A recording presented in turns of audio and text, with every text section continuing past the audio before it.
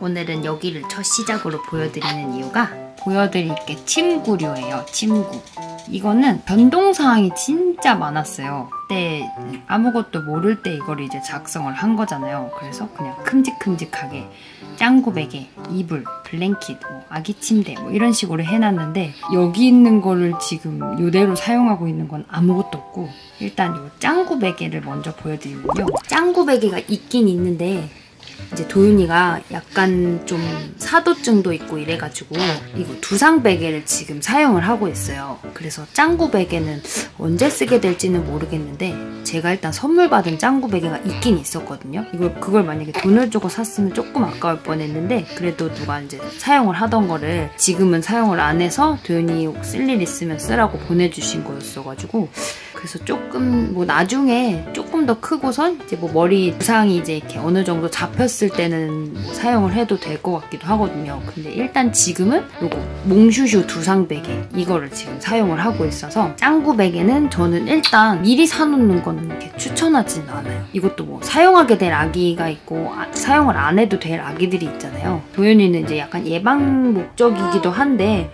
어찌됐든 이제 한쪽으로 눕는 것 때문에 살짝 사두증이 있어서 이 두상 베개를 사용을 하는 거였기 때문에 요거를 미리 사두시는 것도 조금 비추천이고 그렇다고 짱구 베개 이런 식으로 생긴 짱구 베개 있잖아요.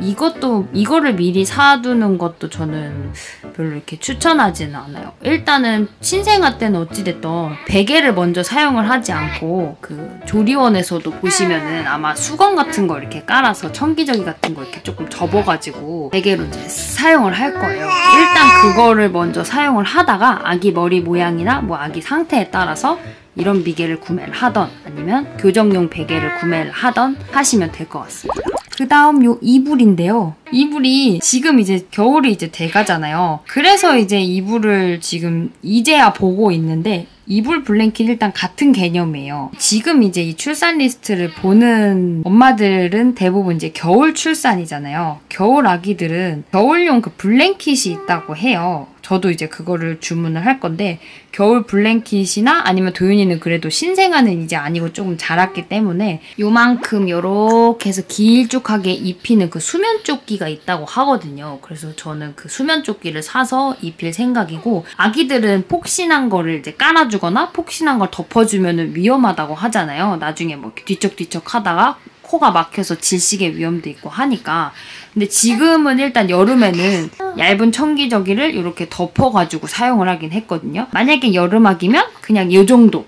이 정도나 아니면 여름용 그 담요가 있더라고요 또 그거를 이렇게 사용을 하면 될 것 같고 겨울 아기들은 제가 이제 앞으로 구매를 할 예정인데 그 도노도노 블랭킷이 있더라고요 저는 그거 겨울용 블랭킷 그거를 주문을 해서 덮어주고 그리고 그게 아니더라도 그 수면 조끼 여기까지 오는 그 수면 조끼를 입혀서 겨울을 날 생각이에요. 그리고 그 침구류에서 가장 저는 좀 추천하는 게 이거예요. 이게 그 포몽드 쿨매트거든요. 보시면 이게 약간 안에는 메쉬 소재로 돼 있고 겉에가 이제 이렇게 좀 얇게 이렇게 뭐라 그러지? 까끌까끌한 소재가 되게 시원해요. 그래서 저는 이걸 최초에 한 장만 샀다가 한 장을 더 추가로 구매를 해가지고 지금 두 장 가지고 사용을 하고 있고 여름에는 이게 필수인데 저는 이제 여름에만 필수라고 생각을 했었어요. 근데 보니까 엄마들이 겨울에도 집 자체가 너무 따뜻하고 뭐 애기도 막 껴입히고 하다 보니까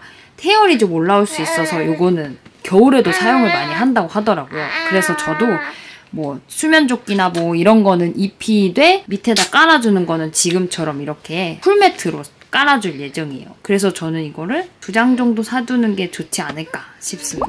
그리고 아기 침대는 아시다시피 제가 맨 처음에는 이 리안 드림콧 아기 침대를 준비를 해놨었잖아요. 근데 이게 도윤이는 안 맞았어요. 어떻게 안 맞았냐면 이 드림콧 안에다가 넣으면 아기가 깨고 그래서 저는 처음에 아 등 센서구나 생각을 했는데 여기 말고 다른데 그냥 바닥에다가 저 쿨매트를 깔아놓고선 바닥에다 내려놓으면 또 잘 자고 여기다가 다시 넣어놓으면 깨고 이러더라고요. 그래서 이제 안 건데 여기를 조금 답답해 하는 것도 있었고 그리고 그리고 이게 어 여기 10kg 이전이라고 제가 해놨잖아요. 그게 11kg까지 사용을 할 수 있다고는 하는데 도윤이가 이거를 사용을 이제 안 할 때쯤에는 사이즈가 조금 애매했어요. 넉넉하다고 하기도 뭐하고. 그러니까 정말 완전 신생아 때. 그러니까 한 30일 전까지는 사용을 하기가 좋은데 저는 일단 도윤이의 경우에는 그 이후에는 쓰기가 좀 작, 작은 느낌? 작은 느낌이 있었어요. 근데 저희 조카가 도윤이보다 두 달 늦은 조카가 있거든요. 두 달 늦게 태어난 조카가 있는데 그 조카는 지금 50일이 조금 넘었는데 제가 이제 사용을 안 하니까 조카를 이제 쓰라고 갖다 줬는데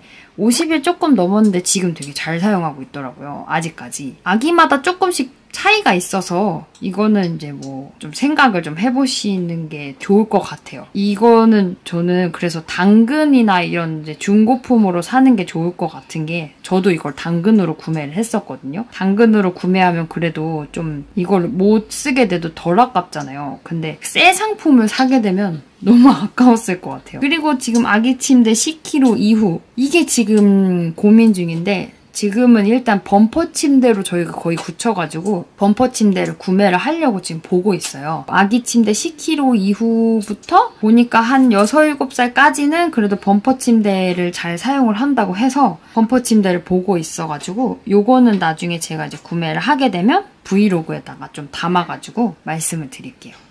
그리고 아기 장난감은요. 저희가 일부러 많이 준비를 안 하긴 했었어요. 이것도 친구한테 이제 아기 딸랑이 세트로 선물을 받았던 거 그리고 이거는 제가 보건소에서 받아가지고 만들었던 애착 인형 그리고 이것도 친구가 그 옷이랑 같이 해서 선물 그 세트 안에 같이 들어있던 거. 애기 장난감은 이제 이런 거랑 딸랑이 인형 세트 같이 있던 거. 그 정도만 준비를 해놨었고, 근데 그 정도만 준비를 해놔도 상관이 없는 게, 일단 초반에는 뭐 아기하고 놀 때 그냥 진짜 이런 거 하나만 있어도, 이렇게 소리 나는 거 하나만 있어도 충분히 사용이 되더라고요. 그래서 굳이 많이 준비를 해둘 필요도 없고, 그리고 이제 추가적으로 제가 아기 체육관 적어놨잖아요. 요게 이제 도윤이 아기 체육관인데 여기에 지금 달려있는 요 모빌들이 지금 칼라잖아요. 그래서 초반에는 이 칼라를 잘 못 보기 때문에 그 흑백 모빌을 제가 여기다 그냥 만들어서 달아놨었어요. 그렇게 해서 사용을 잘 했고 그리고 도윤이는 제가 이거를 소리를 잘 안 켜놓는 게 이 소리에 가끔 깜짝깜짝 놀라서 막 울고 그러더라고요. 그래서 이걸 그냥 안 켜놓고 아기 체육관을 이렇게 놔주면 지금 이제 칼라가 잘 보이니까 이 모빌을 보거나 아니면 이 안쪽에 이 위쪽에 이렇게 거울이 있거든요. 이 거울을 되게 좋아해요. 거울을 여기서 이렇게 한참 한참 이렇게 보고 있고 그래요. 이것도 제가 당근으로 만 원인가? 만 원인가에 구매를 한 건데 아기 체육관도 쓰는 아기들이 있고 안 쓰는 아기들이 있다고 해요. 근데 대부분의 아기들이 이 아기 체육관을 되게 잘 사용을 한다고 하고 도윤이도 마찬가지로 이 아기 체육관은 지금까지 되게 잘 사용을 하고 있고 이게 제가 당근으로 구매를 할 때가 한 도윤이 한 40일? 50일쯤 아마 됐을 때일 거예요. 그때부터 사용을 하기 시작해서 지금 오늘이 지금 도윤이 112일인데 지금까지도 지금 한참 좀 잘 쓰고 있어서 이거 아기 체육관은 이제 좀 구매를 하시는 게 좋을 것 같긴 한데 제 생각에는 아기 체육관 이게 진짜 엄마들 대부분 그리고 깔끔하게 사용을 하잖아요.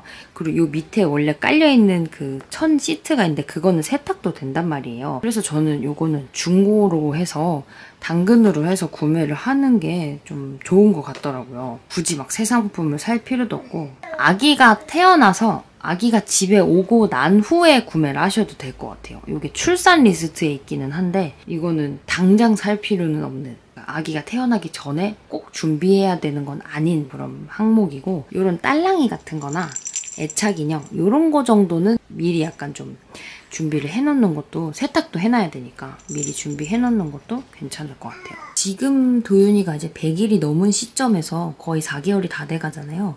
그런 시점에서 이제 장난감이나 이런 게 하나둘씩 늘어가고 있긴 해요. 근데 이제 이런 것도 그러니까 아기 장난감에 대한 거는 출산 전에 꼭 준비를 해야 된다 이런 거는 없어서 아기가 태어나고 아기 발달 상태나 아기가 이제 뭐 필요한 상태에 따라서 장난감들은 이제 그 시기에 맞춰서 하나씩 하나씩 준비를 하셔도 될 것 같아요. 장난감은 그냥 이러, 이 정도? 애착 인형이나 뭐 딸랑이 같은 거. 그래도 아기가 오니까 아무것도 준비를 안 하기에는 좀 기분이 좀 그렇잖아요. 없어도 돼요 사실은. 근데 기분상 어찌됐든 뭐 딸랑이나 이런 거는 준비를 해두면 언젠가 쓰기도 하고 뭐 이래저래 아기 터미타임 할 때 앞에서 이렇게 소리 내주고 하면 애기들도 잘 보고 하니까 이 정도는 미리 준비를 해둬도 될 것 같아요. 근데 결론적으로 아기 장난감은 딱히 크게 미리 준비할 필요는 없다는 거죠. 출산 전에 꼭 준비해야 되는 항목들은 아니에요.